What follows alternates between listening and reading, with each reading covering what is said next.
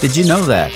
This is one of the rarest and most expensive coffees in the world. It is called Kopi Luwak and is made from coffee beans literally defecated by an Asian civet. These civets feed on the coffee fruit and although the internal coffee bean is not completely digested, it is chemically modified by the enzymes present in the civet's stomach. When the beans are excreted, still covered by the layers of the fruit, they are harvested, washed and lightly toasted to not spoil the flavors obtained during the process. A pound of this coffee can cost up to $500 since only 1,000 pounds are produced per year and a cup would cost around $100. Would you dare to try it?